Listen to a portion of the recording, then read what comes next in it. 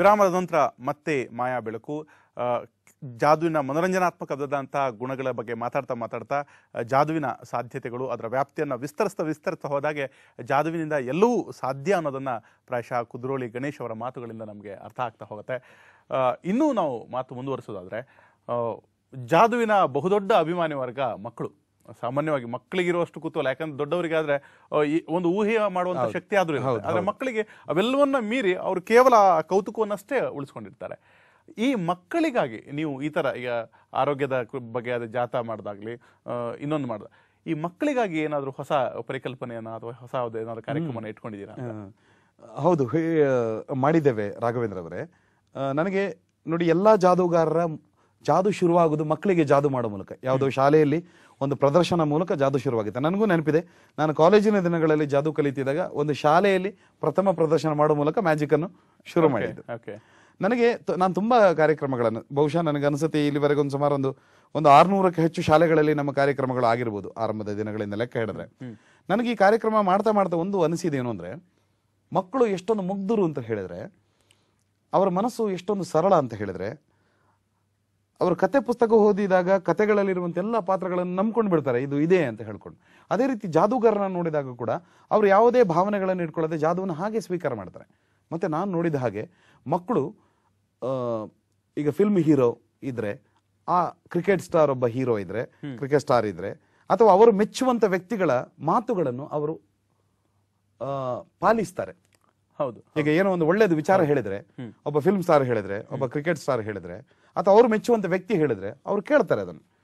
ನನಗನ್ನಿಸಿದ ಮಕ್ಕಳು ಜಾದೂಗಾರನನ್ನು ಈಗ ಉದಾಹರಣೆಗೆ ನಾನು ಜಾದು ಮಾಡುವಾಗ ಹೀರೋ ಆಗಿ ಟ್ರೀಟ್ ಮಾಡ್ತಾರೆ. ಓ ದೊಡ್ಡ ನಮ್ಮದು ಒಂದು ಮೆಜಿಷಿಯನ್ ಅವರು ಹೀರೋ ಆಗಿ. ಆಗ ನಾನು ಬರೀ ಮಕ್ಕಳಿಗೆ ಮನೋರಂಜನೆ ಮಾತ್ರ ಕೊಡೋದ? ಅಥವಾ ನಾನೊಬ್ಬ ಅವರು ಮೆಚ್ಚುವಂಥ ವ್ಯಕ್ತಿ ಆಗಿಬಿಟ್ಟು ಅವರಿಗೆ ಏನಾದರೂ ಅವರ ವ್ಯಕ್ತಿತ್ವಕ್ಕೆ ಪೂರಕ ಆಗಿರುವಂಥ ವಿಚಾರಗಳನ್ನು ಹೇಳಲಿಕ್ಕೆ ಸಾಧ್ಯ ಉಂಟಾ ಅಂತ ಒಂದು ಮನೋಸ್ಥಿತಿ ನನಗೆ ಕಾರ್ಯಕ್ರಮ ಮಾಡ್ತಾ ಮಾಡ್ತಾ ಬಂತು. ಓಕೆ ಆಗ ನಾನು ಬಳಸ್ಕೊಂಡಿರುವಂಥ ಕಾರ್ಯಕ್ರಮ ಶಿಕ್ಷಣಕ್ಕಾಗಿ ಜಾದು ಅಂತ. ಓಕೆ ಇದು ಒಂದೂವರೆ ಗಂಟೆ ಒಂದು ಕಾರ್ಯಕ್ರಮ ಮಕ್ಕಳಿಗೆ ಪೂರ್ಣ ರಂಜನೆ ಕೊಡುವಂಥದ್ದು. ಆದ್ರೆ ರಂಜನೆಯ ಜೊತೆಗೆ ನೈತಿಕ ಮೌಲ್ಯಗಳನ್ನು ಹೇಳುವಂತ ಕೆಲವೊಂದು ಜಾದುಗಳನ್ನು ಅದರ ಮೂಲಕ ಮಾಡಿದ್ದೇನೆ. ಅದ್ರಲ್ಲಿ ಒಂದು ಜಾದು ನಾನು ನಿಮ್ಗೆ ಈಗ ಮಾಡಿ ತೋರಿಸ್ತೇನೆ ನೋಡಿ.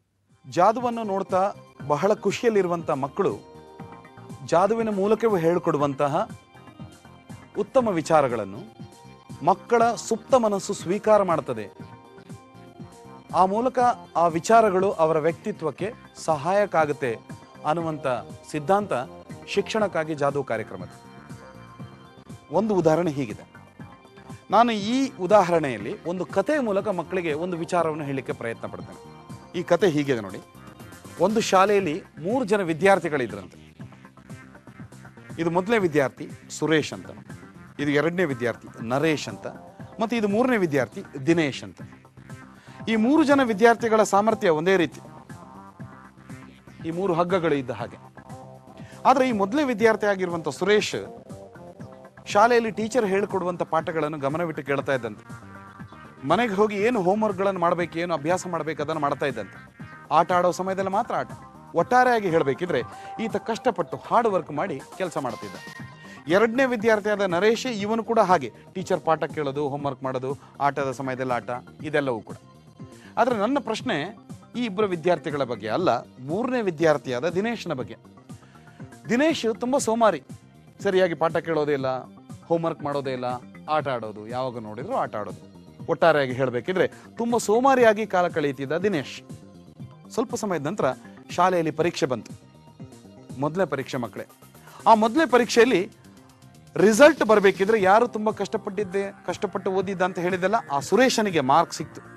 ತುಂಬ ತುಂಬ ತುಂಬಾನೇ ಮಾರ್ಕ್ ಸಿಕ್ತು. ಆತ ಕ್ಲಾಸಿಗೆ ಫಸ್ಟ್ ಬಂದ್ಬಿಟ್ಟ. ಎರಡನೇ ವಿದ್ಯಾರ್ಥಿಯಾದ ನರೇಶ್ ಅವನಿಗೂ ಕೂಡ ಮಾರ್ಕ್ ತುಂಬಾ ತುಂಬಾನೇ ಮಾರ್ಕ್ ಸಿಕ್ತು. ಆದ್ರೆ ಸೋಮಾರಿತನ ಮಾಡಿದಂತ ದಿನೇಶ್ ಪರೀಕ್ಷೆಯಲ್ಲಿ ಫೇಲ್ ಆಗಿಬಿಟ್ಟ. ಎಲ್ಲರೂ ಅವನ್ನ ನೋಡ್ಕೊಂಡು ತಮಾಷೆ ಮಾಡಿದ್ರು. ಏ ದಡ್ಡ, ಸೋಮಾರಿ ತಲೆಗೆ ಹೊತ್ತೋದಿಲ್ಲ ಫೇಲ್ ಆಗಿದ್ದಾನೆ, ಹಾಗೆ ಹೀಗೆ ಅಂತ ಹೇಳ್ಕೊಂಡು. ಪಾಪ ಈ ಹುಡುಗ ತುಂಬ ಟೆನ್ಷನ್ಗೆ ಬಿದ್ದುಬಿಟ್ಟ ಏನು ಮಾಡೋದು ಅಂತ ಗೊತ್ತಾಗಿಲ್ಲ. ಅಷ್ಟೊತ್ತಿಗೆ ಅವನ ಶಾಲೆಯಲ್ಲಿ ಒಬ್ಬರು ಟೀಚರು ಅವನಿಗೆ ಹತ್ತಿರ ಕೂರಿಸಿ ಮಾತಾಡಿದ್ರು. ಅವ್ರು ಹೇಳಿದ್ರು, ನೋಡಪ್ಪ ದಿನೇಶ್, ನೀನು ಎಲ್ಲಿವರೆಗೆ ನಿನ್ನ ಸೋಮಾರಿತನವನ್ನು ಬಿಟ್ಟು ಬಿಡೋದಿಲ್ವೋ ಅಲ್ಲಿವರೆಗೆ ಯಶಸ್ಸು ನಿನ್ನ ಕೈಗೆ ಸಿಗುವುದಿಲ್ಲಪ್ಪ ಅಂತ ಹೇಳ್ಕೊಟ್ರು. ಆ ದಿವಸ ದಿನೇಶನಿಗೆ ಒಂದು ಮಾತು ಅರ್ಥ ಆಯಿತು. ಹೌದಲ್ಲ, ನನ್ನ ಅಪ್ಪ, ಅಮ್ಮ ಕಷ್ಟಪಟ್ಟು ನನ್ನನ್ನು ಶಾಲೆಗೆ ಕಲಿಸು ಕಳಿಸೋದು ಯಾಕೆ? ನಾಳೆ ನಾನು ವಿದ್ಯಾಭ್ಯಾಸ ಮುಗಿಸ್ಕೊಂಡು ದೊಡ್ಡ ವ್ಯಕ್ತಿ ಆಗಬೇಕು ಅಂತ. ಆ ದಿವಸ ಆ ಮಾತನ್ನು ಅರ್ಥ ಮಾಡಿಕೊಂಡಂಥ ದಿನೇಶ್ ಆ ದಿವಸದಿಂದ ಶಾಲೆಯಲ್ಲಿ ಟೀಚರ್ ಹೇಳ್ಕೊಡುವಂಥ ಪಾಠಗಳನ್ನು ಗಮನಿಟ್ಟು ಕೇಳಲಿಕ್ಕೆ ಶುರು ಮಾಡಿದ. ಹೋಮ್ವರ್ಕ್ ಸರಿ ಮಾಡಿದ. ಆಟ ಆಡೋ ಸಮಯದಲ್ಲಿ ಮಾತ್ರ ಸ್ವಲ್ಪ ಸಮಯ ಕಳೆದು ಶಾಲೆಯಲ್ಲಿ ಫೈನಲ್ ಟೆಸ್ಟ್ ಅಂತಿಮ ಪರೀಕ್ಷೆ ಬಂತು.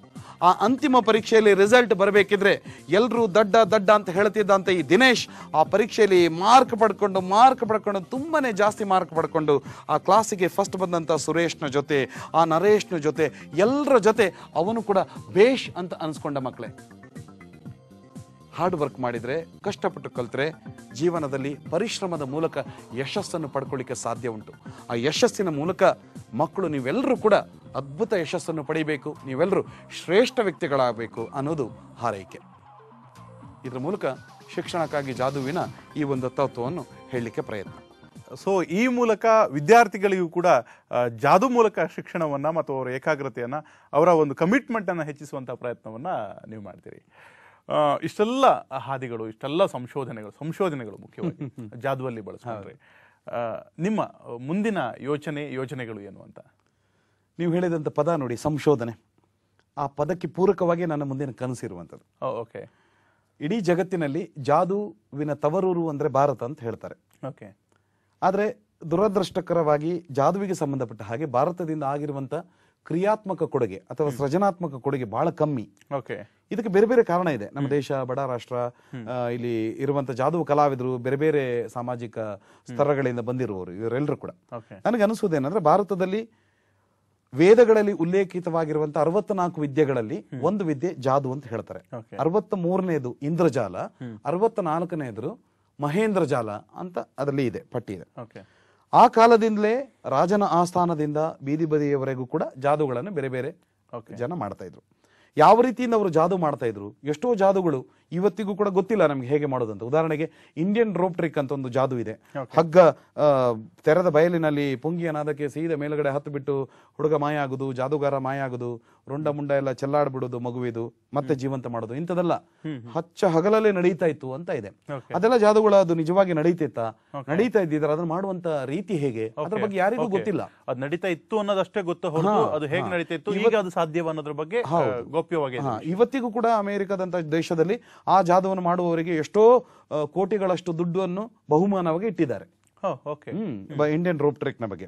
ನಾನು ಹೇಳ್ತಿರೋದು ಏನು ಅಂದ್ರೆ ಸಾಮಾನ್ಯವಾಗಿ ಒಂದು ದೇಶದಲ್ಲಿ ಹೀಗಿತ್ತು ಹಾಗಿತ್ತು ಅಂತ ಹೇಳುವಂಥದ್ದು ಇತಿಹಾಸಕ್ಕೆ ಸೇರಿಬಿಡುವುದಕ್ಕಿಂತ ಬದಲು ಪ್ರಾಕ್ಟಿಕಲ್ ಆಗಬೇಕು ಪ್ರಾಯೋಗಿಕ ಆಗಬೇಕು ಅಂತ ಹೇಳಿದ್ರೆ ಅದಕ್ಕೊಂದು ಸಂಶೋಧನಾ ಕೇಂದ್ರ ಬೇಕು. ಆಗ ಅಲ್ಲಿ ದಾಖಲೀಕರಣ ಮಾಡ್ಲಿಕ್ಕೆ ಆಗ್ತದೆ ಮ್ಯಾಜಿಕ್ಗಳನ್ನು ಅದನ್ನು ಹೇಗೆ ಮಾಡಿದ್ದು ಮುಂದೆ ಹೇಗೆ ಮಾಡಬಹುದು ಅನ್ನೋದ್ರ ಬಗ್ಗೆ. ನನಗೆ ಇದಕ್ಕೆಲ್ಲ ಪೂರಕವಾಗಿ ಒಂದು ನಾಟಕಕ್ಕೆ ಹೇಗೆ ಒಂದು ತರಬೇತಿ ಸಂಸ್ಥೆ ಇದೆಯೋ? ಹಾಗೆ ಜಾದುವಿಗೆ ಒಂದು ತರಬೇತಿ ಸಂಸ್ಥೆ ಒಂಥರ ಕಾಲೇಜ್ ಆಫ್ ಮ್ಯಾಜಿಕ್ ನೀವು ಹ್ಯಾರಿ ಪಾಟರ್ ಪಿಕ್ಚರ್ ಗಳೆಲ್ಲ ನೋಡಿರ್ಬೋದು ಒಂದು ದೊಡ್ಡ ಅಲ್ಲೊಂದು ಕಾಲೇಜ್ ಇರ್ತದೆ ಮ್ಯಾಜಿಕ್ ಇದು ಒಂದು ಅರಮನೆಯ ರೀತಿಯಿಂದ. ಒಂದು ಕಾಲೇಜಿನ ಒಂದು ಮ್ಯಾಜಿಕ್ನ ಒಂದು ಕಾಲೇಜಿನ ಕಾನ್ಸೆಪ್ಟ್ ಬಂದ್ಬಿಟ್ರೆ ಸರ್ಕಾರವು ಅದಕ್ಕೆ ಸಹಾಯ ಮಾಡಿದ್ರೆ ಅದ್ರ ಮೂಲಕ ಮೂಲಭೂತವಾಗಿ ಜಾದುವಿನ ಸಂಶೋಧನೆ ಮಾಡಬಹುದು. ಅದು ಭಾರತದ ಜಾದುವಿನ ಸ್ಥಿತಿಯನ್ನು ಅಂತಾರಾಷ್ಟ್ರೀಯ ಮಟ್ಟದಲ್ಲಿ ನಿಜವಾಗಿ ಉತ್ತುಂಗಕ್ಕೆ ಏರಿಸಲಿಕ್ಕೆ ಸಾಧ್ಯ ಆಗುತ್ತೆ. ವೃತ್ತಿಪರವಾಗಿ ಜಾದುವನ್ನು ಸ್ವೀಕಾರ ಮಾಡುವವರಿಗೆ ಪರಿಪೂರ್ಣವಾದ ಗುಣಮಟ್ಟವಾದ ತರಬೇತಿಯನ್ನು ಕೊಡಲಿಕ್ಕೆ ಆ ಕಾಲೇಜಿಂದ ಸಾಧ್ಯ ಆಗುತ್ತೆ. ನಂದೊಂದು ಅಭಿಪ್ರಾಯ ಏನಂದ್ರೆ ಈಗ ನಾನೊಬ್ಬ ದಕ್ಷಿಣ ಕನ್ನಡ ಜಿಲ್ಲೆಯಲ್ಲಿ ಹುಟ್ಟಿದವನು ಭೂತಕೋಲವನ್ನು ಹೇಗೆ ಪ್ರಾದೇಶಿಕ ಒಂದು ಸಂಸ್ಕೃತಿಯಾಗಿ ಬಳಕೆ ಮಾಡಿಕೊಂಡೇನೋ ಭಾರತದಲ್ಲಿ ಎಲ್ಲ ಕಡೆ ಇರುವಂತ ಆ, ಪ್ರಾದೇಶಿಕ ಸಂಸ್ಕೃತಿಯನ್ನು ಆಯಾಯ ಪ್ರದೇಶಕ್ಕೆ ಸೇರಿದಂತ ಕಲಾವಿದ ಜಾದುವಿನ ಮೂಲಕ ಅದನ್ನು ಅದನ್ನು ಪ್ರದರ್ಶನ ಮಾಡಿದ್ರೆ ಭಾರತದಲ್ಲಿ ಅದ್ಭುತವಾದ ಜಾದುಗಳು ತುಂಬಿಕೊಳ್ಳಬಹುದು. ಅದಕ್ಕೆ ಸಹಾಯ ಮಾಡಬಹುದು. ಹವ್ಯಾಸಿಯಾಗಿ ಜಾದುಗಳನ್ನು ಕಲಿಯುವಂತ ಆಸಕ್ತಿ ಇದ್ದವರಿಗೆ ಅವರಿಗೆ ಒಂದು ಡಿಪ್ಲೊಮಾ ಕೋರ್ಸಸ್ಗಳು ಒಂದು ತರಬೇತಿ ಕಾರ್ಯಾಗಾರಗಳನ್ನು ಮಾಡಲಿಕ್ಕೆ ಸಾಧ್ಯ ಆಗುತ್ತೆ. ಅಂತ ಮತ್ತು ಎಲ್ಲಕ್ಕಿಂತ ಹೆಚ್ಚಾಗಿ ಜಾದು ತನ್ನ ಕಾಲಿನ ಮೇಲೆ ತಾನು ನಿಲ್ಲಬೇಕು. ಅದೊಂದು ಪರಿಪೂರ್ಣವಾದ ಕಲೆ. ವ್ಯಾವಹಾರಿಕವಾಗಿ ಸೃಜನಾತ್ಮಕತೆಯಿಂದ ಇದೆಲ್ಲದಕ್ಕೂ ಕೂಡ ಒಂದು ಅದ್ಭುತವಾದ ಒಂದು ಸಂಶೋಧನಾ ಕೇಂದ್ರ ಒಂದು ಕಾಲೇಜ್ ಆಫ್ ಮ್ಯಾಜಿಕ್ ಅನ್ನು ನಿರ್ಮಾಣ ಮಾಡಬೇಕು ಅನ್ನುವುದು ನನ್ನ ಬಹಳ ಮಹತ್ತರವಾದ ಒಂದು ಕನಸು. ಓಕೆ ಈ ಒಂದು ಜರ್ನಿ ಮ್ಯಾಜಿಕ್ನ ಬಹು ವರ್ಷದ ಜರ್ನಿ ನಿಮಗೆ ಇಲ್ಲಿಯ ತನಕ ಅದನ್ನ ವೃತ್ತಿಯಾಗಿ ಸ್ವೀಕರಿಸಿದವರಿಗೆ ಬದುಕಿಗೆ ಒಂದು ಆಧಾರವನ್ನು ಕೊಟ್ಟಿದೆಯಾ? ಇದನ್ನ ಹೀಗೆ ಮುಂದುವರಿಸುವ ಕನಸಿದೆ ಅಂತ ನೀವು ಹೇಳಿದ್ರಿ. ಆದ್ರೆ ಇಲ್ಲಿ ತನಕ ನಡೆದು ಬಂದಂತಹ ಆ ಪ್ರಯತ್ನ ಅದಕ್ಕೆ ಸಿಕ್ಕಂತಹ ಫಲ ತೃಪ್ತಿದಾಯಕವ. ಮತ್ತೆ ಮುಂದೆ ಇದನ್ನ ವೃತ್ತಿಯಾಗಿ ಸ್ವೀಕರಿಸ ಬಯಸುವವರಿಗೆ ಏನ್ ಹೇಳ್ತೀವಿ ನೋಡಿ ಒಂದು ಕಲೆಯ ಬಗ್ಗೆ ತೃಪ್ತಿ ಒಬ್ಬ ಕಲಾವಿದನಿಗೆ ಎರಡು ರೀತಿಯಿಂದ ಪರಿಗಣನೆ ಮಾಡಲಿಕ್ಕಾಗುತ್ತೆ. ಒಂದು ಆತ್ಮಸಂತೋಷ ಇನ್ನೊಂದು ವ್ಯಾವಹಾರಿಕ ಪ್ರಪಂಚದಲ್ಲಿ ಅದೆಷ್ಟು ಪ್ರಾಕ್ಟಿಕಲ್ ಅನ್ನುವಂಥ ವಿಚಾರ. ನಾನು ಆತ್ಮಸಂತೋಷದ ವಿಚಾರ ಮಾತಾಡೋದಿದ್ರೆ ನಾನೊಬ್ಬ ಇವತ್ತು ನಿಮ್ಮ ಎದುರುಗಡೆಗೆ ಕೂತ್ಕೊಂಡು ಈ ಸಂದರ್ಶನವನ್ನು ಕೊಡಲಿಕ್ಕೆ ಸಾಧ್ಯ ಆಗಿರೋದು ನಾನೊಬ್ಬ ಜಾದೂ ಕಲೆಯಲ್ಲಿ ಇರುವುದರಿಂದ ಅನ್ನುವಂಥದ್ದು ಮುಖ್ಯ ಆಗೋದಿದ್ರೆ ಈ ಜಾದೂ ಕಲೆ ನನಗೆ ಕೊಟ್ಟಿರುವಂತದ್ದು ಬಹಳ ದೊಡ್ಡ ಅಸ್ತಿತ್ವ ಒಂದು ಐಡೆಂಟಿಟಿ ಖಂಡಿತ. ಬಹುಶಃ ಮ್ಯಾಜಿಕ್ ಮಾಡದೇ ಇದ್ರೆ ನಾನು ನನ್ನ ಐಡೆಂಟಿಟಿ ಬಹಳ ಸರಳವಾಗಿರುತ್ತಿತ್ತೋ ಏನು. ಅದನ್ನು ಪರಿಗಣನೆ ಮಾಡಿದ್ರೆ ನನಗಿರುವಂತ ವೈಯಕ್ತಿಕ ಸಾಮರ್ಥ್ಯ ನನ್ನ ವ್ಯಕ್ತಿತ್ವ ನನಗಿರುವಂತ ಟ್ಯಾಲೆಂಟ್ಗಳು ನಾನು ಆಯ್ಕೆ ಮಾಡಿರುವಂತ ಜಾದೂ ಕ್ಷೇತ್ರಕ್ಕೆ ಪರಿಪೂರ್ಣವಾಗಿ ಹೊಂದಿಕೊಂಡಿದೆ. ಮತ್ತು ನಾನು ಜಾದೂ ಕಲೆಯನ್ನು ಅಭ್ಯಾಸ ಮಾಡಿ ಅಭ್ಯಾಸ ಮಾಡಲಿಕ್ಕೆ ಈ ಕ್ಷೇತ್ರದಲ್ಲಿ ಮುಂದುವರಿಕೆ ಬೇಕಾಗಲೇ ಬೇಕಾಗಿ ಹುಟ್ಟಿಕೊಂಡಿರುವಂತನು ಅನ್ನುವಂಥ ಒಂದು ಆತ್ಮಸಂತೋಷ ನನಗೆ ಸಂಪೂರ್ಣವಾಗಿದೆ. ಓಕೆ. ಆದರೆ ಪ್ರಾಕ್ಟಿಕಲ್ ಆಗಿ ಮಾತಾಡೋದಿದ್ರೆ ಭಾರತದಂಥ ದೊಡ್ಡ ದೇಶದಲ್ಲಿ ಜಾದೂ ಅನ್ನುವಂಥದ್ದು ಕಲೆ ಹಂಡ್ರೆಡ್ ಪರ್ಸೆಂಟ್ ಕಮರ್ಷಿಯಲಿ ಪ್ರಾಕ್ಟಿಕಲ್ ಅಲ್ಲ. ಓಕೆ. ಜಾದುವನ್ನು ಯಾರಾದರೂ ವೃತ್ತಿಯಾಗಿ ಸ್ವೀಕಾರ ಮಾಡ್ತಾರೆ ಅಂತ ಬಯಸುವವರಿಗೆ ನನ್ನ ಸಲಹೆ ದಯವಿಟ್ಟು ವೃತ್ತಿಯಾಗಿ ಸ್ವೀಕಾರ ಮಾಡಬೇಡಿ. ಓಹೋ ಅಷ್ಟು ಕಷ್ಟ ಇದೆ. ಇವತ್ತು ಮ್ಯಾಜಿಕ್ಕನ್ನು ಈ ಹಂತಕ್ಕೆ ಇವತ್ತು ಇಂಡಿಯಾಸ್ ಗಾಟ್ ಅ ಇನ್ ಅಂತ ಒಂದು ಒಂದು ಕಾರ್ಯಕ್ರಮಕ್ಕೂ ಕೂಡ ತಂಡವನ್ನು ಒಟ್ಟು ಸೇರಿಸ್ಕೊಂಡು ಹೋಗಿ ಕಾರ್ಯಕ್ರಮ ಮಾಡಬೇಕಿದ್ರೆ ಅದರ ಹಿಂದೆ ಇರುವಂತ ಶ್ರಮವನ್ನು ಎಲ್ಲ ರೀತಿಯದು ಆರ್ಥಿಕವಾಗಿ ಅದನ್ನು ಅದರ ಬಲವನ್ನೆಲ್ಲ ನೀವು ನಿರೀಕ್ಷೆ ಮಾಡಿದ್ರೆ ಅದಕ್ಕೆ ಬಹಳ ದೊಡ್ಡ ಒಂದು ಒಂದು ಸ್ಯಾಕ್ರಿಫೈಸ್ ಒಂದು ತ್ಯಾಗ ಬೇಕಾಗುತ್ತೆ ಅಂತ ನಾನು ಹೇಳ್ತೇನೆ. ಆದರೆ ವೃತ್ತಿಯಾಗಿ ಸ್ವೀಕಾರ ಮಾಡಬೇಡಿ ಅನ್ನೋದರ ಮಾತಿನ ಒಟ್ಟಿಗೆ ನನ್ನದೊಂದು ಒಂದು ಮಾತು ಏನಂದರೆ ಇವತ್ತು ಜಗತ್ತಿನಲ್ಲಿ ಜಾದು ಬೆಳೆದಿದ್ರೆ ಅದಕ್ಕೆ ನೈಂಟಿ ಪರ್ಸೆಂಟ್ ಕಾರಣರಾಗಿರುವವರು ಜಾದುವನ್ನು ಹವ್ಯಾಸಿಯಾಗಿ ಬಳಕೆ ಮಾಡಿರುವವರೇ. ಓಕೆ ಬೇರೆ ಯಾವುದೋ ಉದ್ಯೋಗದಲ್ಲಿ ಇದ್ದುಕೊಂಡು ಜಾದುವನ್ನು ಹವ್ಯಾಸವಾಗಿ ಬಳಕೆ ಮಾಡಿದವರೇ ಮ್ಯಾಜಿಕ್ಗೆ ಅತ್ಯಂತ ಹೆಚ್ಚು ಈ ಜಗತ್ತಿನಲ್ಲಿ ಕಾಂಟ್ರಿಬ್ಯೂಷನ್ ಕೊಟ್ಟವರು. ಓಕೆ ವೃತ್ತಿಪರರು ಸ್ವಲ್ಪ. ಆದರೆ ವೃತ್ತಿಪರತೆಯನ್ನು ಜಾದುವನ್ನು ಹಂಡ್ರೆಡ್ ಪರ್ಸೆಂಟ್ ವೃತ್ತಿಯಾಗಿ ಸ್ವೀಕಾರ ಮಾಡಬೇಕು ಮಾಡಬಹುದು ಅನ್ನುವಂಥ ಸ್ಥಿತಿ ಭಾರತಕ್ಕೆ ಆದಷ್ಟು ಬೇಗ ಬರ್ತದೆ ಅನ್ನುವಂಥ ನಂಬಿಕೆ ನನಗಿದೆ. ಅದಕ್ಕೆ ನನ್ನಿಂದ ಏನು ಪ್ರಯತ್ನ ಏನಾಗುತ್ತೆ ನಾನು ಅದನ್ನು ಖಂಡಿತ ಖಂಡಿತ ಮಾಡ್ತೇನೆ. ಈ ಸಂದರ್ಭದಲ್ಲಿ ಒಂದು ಮಾತು ನನಗೆ ಪೂರಕ ನಾನು ಹೇಳ್ತಾ ಇರುವಂಥದ್ದು ಜಾದು ಅನ್ನುವಂಥದ್ದು ಅಪರೂಪದ ಕಲೆ. ಸಂಗೀತ ನೃತ್ಯ ನಾಟಕ ಸಿನಿಮಾ ಇದು ಯಾವುದು ನೀಡದೇ ಇರುವಂಥ ಅದ್ಭುತವಾದ ಪವಾಡ ಸದೃಶವಾಗಿರುವಂಥ ಒಂದು ರಂಜನೆಯನ್ನು ಕೊಡಲಿಕ್ಕೆ ಜಾದು ಮಾತ್ರ ಸಾಧ್ಯ ಆಗುವಂಥದ್ದು. ಓಕೆ ಜನರಲ್ಲಿ ಸರ್ಕಾರಕ್ಕೆ ಅಭಿಮಾನಿಗಳಲ್ಲಿ. ನಂದು ಒಂದೇ ಒಂದು ಕೋರಿಕೆ ಏನಂದ್ರೆ ಜಾದೂಗಾರರಿಗೆ ನೀವು ಬೆಂಬಲ ಕೊಡಬೇಕು. ಬೇರೆ ಯಾವುದೇ ರೀತಿಯಿಂದ ಅಲ್ಲ ಕಾರ್ಯಕ್ರಮಗಳನ್ನು ಆದಷ್ಟು ಹೆಚ್ಚಿನ ಸಂಖ್ಯೆಯಲ್ಲಿ ಮಾಡಿಸುವ ಮೂಲಕ. ಅಷ್ಟೇ. ಆ ಬೆಂಬಲ ಕೊಟ್ರೆ ಜಾದು ಅನ್ನುವಂತ ಕಲೆ ಜೀವಂತವಾಗಿ ಉಳಿತದೆ.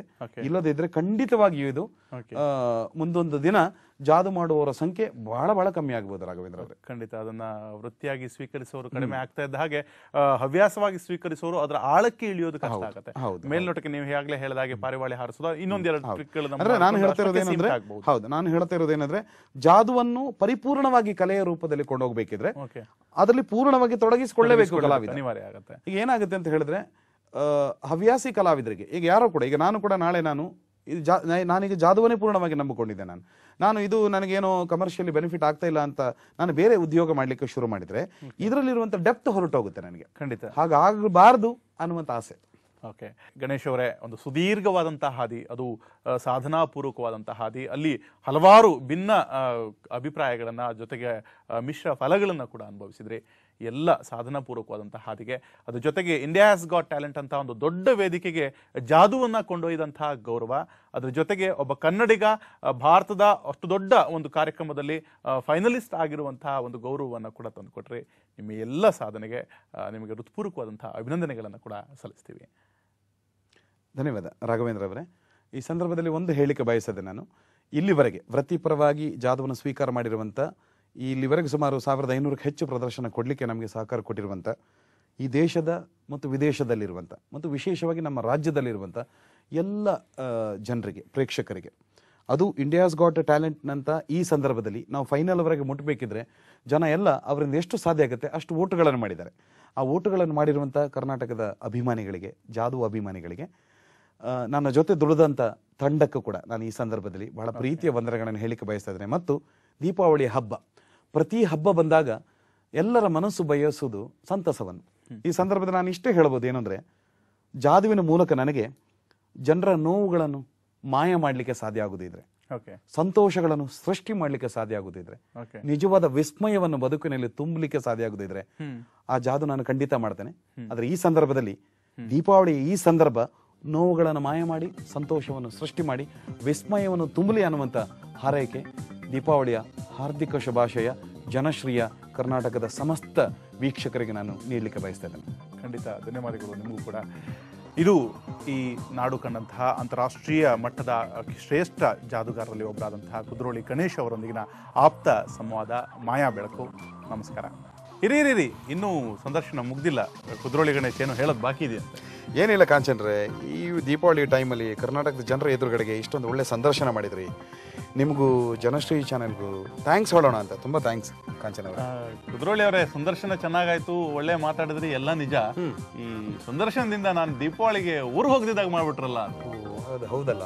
ಹೀಗೆ ನಿಮಗೆ ಊರಿಗೆ ಹೋಗ್ಬೇಕಾ? ಬಿಡುವ ಮತ್ತೆ. ಕಳಿಸೋಣ ಅದ್ರಲ್ಲಿ ಏನಿದೆ ಮ್ಯಾಜಿಕ್ ಮಾಡೋಣ. ಅದರಲ್ಲಿ ಹೇಗೆ ಮ್ಯಾಜಿಕ್ ಮಾಡ್ತೀರಾ? ನೋಡೋಣ ಒಂಚೂರು ಇದನ್ನು ತೆಗಿತಾ ಇದ್ದೇನೆ. ಇದೆಂತ ಕೆಲಸ ಮಾಡಿ. ಇದೊಂದು ಮಾಯಾ ವಸ್ತ್ರ ಅಂತ ಹೇಳ್ತೇವೆ ಇದನ್ನು. ಓಕೆ ಬಹಳ ಶಕ್ತಿ ಇದೆ ಈ- ಈ ಬಟ್ಟೆಗೆ. ನನಗೇನ್ ತೊಂದ್ರೆ ನೋಡಿ ಇದನ್ನ ಇಲ್ಲ ಇಲ್ಲ ಏನಿಲ್ಲ ಇದನ್ನ ಹೀಗೆ ಬಿಚ್ಚೋದು ಹ್ಮ್. ಒಮ್ಮೆ ಹೀಗೆ ಅಡ್ಡ ಹಿಡಿಯೋದು. ಓಕೆ. ಮತ್ತೊಮ್ಮೆ ತೆಗೆಯೋದು. ಅಂದ್ರೆ ಏನಾಗಲ್ಲ ಹಾಗೇನಾಗಲ್ಲ ಆದ್ರೆ ಈಗ ನೋಡಿ ಈ ಬಟ್ಟೆಯನ್ನು ಹೀಗೆ ಸರಿಯಾಗಿ ಹೀಗೆ ಮುಚ್ಚಿಬಿಟ್ಟು ಈಗ ಆಬ್ರ ಕಡಬ್ರ ಗಡಬಡ ಅಂತ ಹೇಳ್ಬಿಟ್ಟು ರೆಡಿ ಒನ್ ಟು ತ್ರೀ ಅಂತ ಅನ್ನೋದು. ರಾಘವೇಂದ್ರ ಕಾಂಚನ್ ಅವರು ದೀಪಾವಳಿಗೆ ಹೋಗಿದ್ದಾರೆ. ಮತ್ತೆ ಬರ್ತಾರೆ. ನಮಸ್ಕಾರ.